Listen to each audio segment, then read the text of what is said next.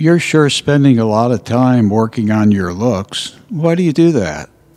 I want to look good. To impress somebody?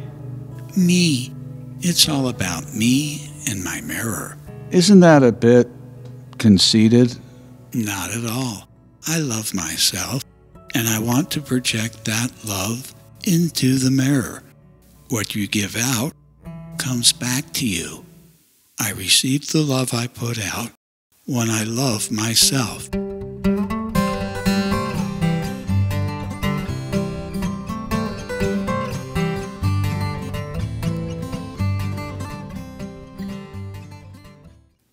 Like a very accurate boomerang, every word of speech, every facial expression, every projection of judgment comes flying back at me in the house of mirrors at the carnival of intent and aspirations. I read instructions and recite the script as the lines ricochet off the wall ideas and land back at the origin of place. I am wearing my ears recklessly, and I'm off guard when scripts are handed to me.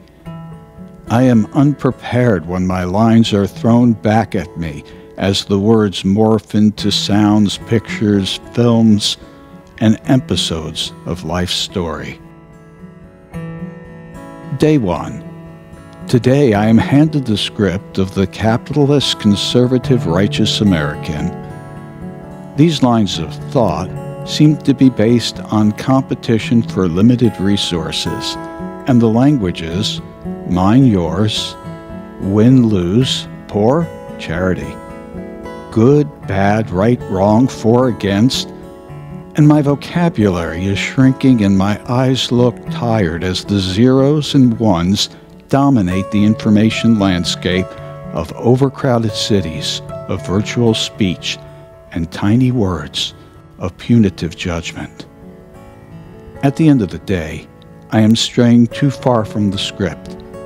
I look in the mirror and see a tired, ravaged face. Day 2. Today, I am handed the script of the socialist, liberal, righteous American. It, too, seems to be based on competition for limited resources, but the language is share, distribute, entitlements, rights, good, bad, right, wrong, for, against. And as I need to stray from the script, the finger is pointed at me. I look in the mirror and experience a terrified face.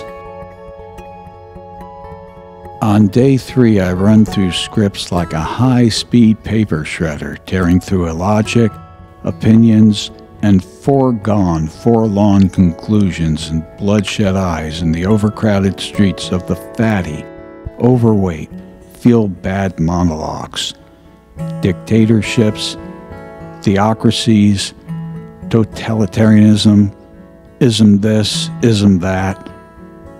I'm through and at the end of the day, I'm angry with an overburdened face in an overlit mirror.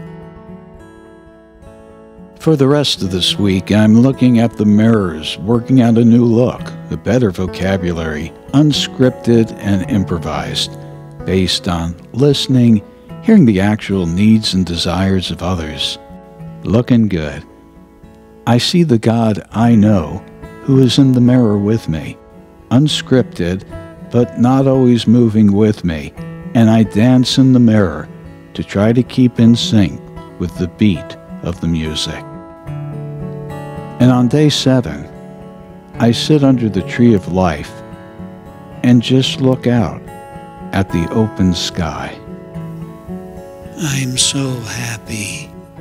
I wish I could feel happy. Just say it. I'm happy over and over again. I'm happy. I'm happy. I'm happy.